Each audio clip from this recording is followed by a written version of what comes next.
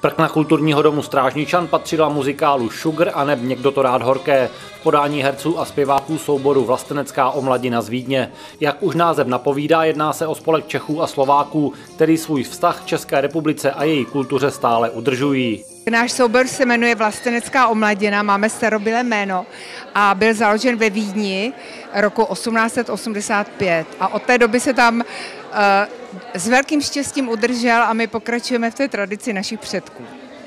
Ale dnes uh, herci nebo, uh, nebo členové omladiny jsou většinou z České republiky, že se přistěhovali za prací nebo za studiem, anebo ze Slovenska. Děj muzikálu Sugar a někdo to rád horké se v podání o mladiny drží klasického příběhu. Dvojice muzikantů se zaplete v Chicagu k vyřizování účtů mezi dvěma gengy. Jako nepohodlní svědkové jsou poté pro následování a v ženském přestrojení se ukrývají v dívčí kapele Sladké Sue. Tato situace sebou nese řadu humorných scén. My jsme samozřejmě těch Sugar viděli několik v České republice a všude se nám líbilo něco jiného ale žádné představení nebylo takové, kdy bychom si řekli, takhle bychom to chtěli dělat, takže máme svoje.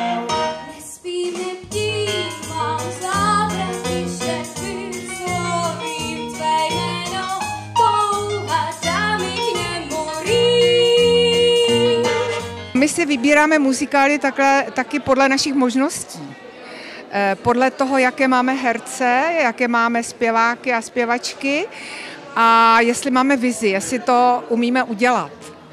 A to rozhoduje samozřejmě. Představitelka hlavní role Sugar Jana Kolencová, rozená Bělochová, je strážnickou rodačkou. Vlastenecká omladina má v současnosti okolo 30 aktivních členů a v České republice hostuje pravidelně. Důvodem je také to, že možnosti hrát v rodném jazyce jsou ve Vídni přece jen omezené.